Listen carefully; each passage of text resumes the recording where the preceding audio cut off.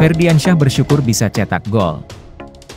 Penyerang muda Persib, Ferdiansyah bersyukur bisa berkontribusi untuk timnya pada uji tanding melawan Dewa United di Stadion Gelora Bandung Lautan Api, GBLA, Kamis, 15 Juni 2023.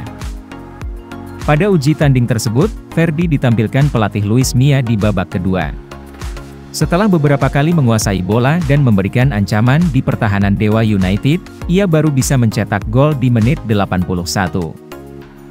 Pertama-tama, saya bersyukur setelah dikasih menit bermain oleh tim pelatih di pertandingan ini. Alhamdulillah, saya bisa membuat gol untuk tim, ungkap pemain jebolan Akademi Persib tersebut setelah pertandingan. Sementara itu, pelatih Persib Bandung Luis Mia Aspas menilai tim asuhannya telah mengalami banyak perkembangan. Saya senang dengan sikap dan usaha yang diberikan pemain. Ini bentuk permainan yang lebih baik. Tim juga bertahan dengan sangat baik lewat pertahanan yang rapat, kata Mia. Meski begitu, Mia masih belum puas. Ia menginginkan penampilan yang lebih baik. Ia berharap, timnya mampu menampilkan permainan terbaiknya ketika kompetisi Liga 1 2023-2024 bergulir, Juli mendatang. Pemain masih butuh berkembang, Misalkan dari segi penguasaan bola, mereka harus lebih tenang dan sabar.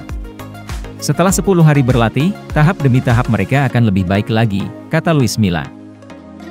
Berita lainnya. Lama tak terdengar, legenda Persib Bandung kini resmi berkarir di Persija Jakarta.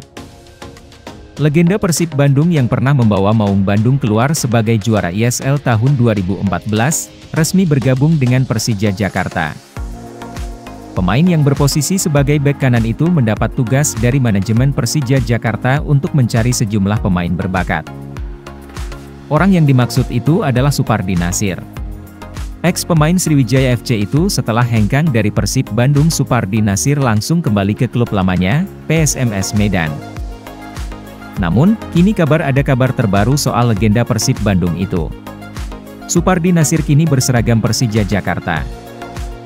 Dikutip dari akun Instagram Persija Academy, Macan Kemayoran menugaskan Supardi Nasir untuk mencari bakat muda yang potensial.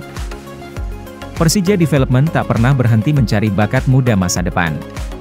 Kali ini Persija menugaskan Miskardi, Direktur Metodologi dan Supardi, pemandu bakat untuk memantau bakat muda yang sedang berlaga di Kejurnas antar PPLP 2023, tulis akun Persija Academy.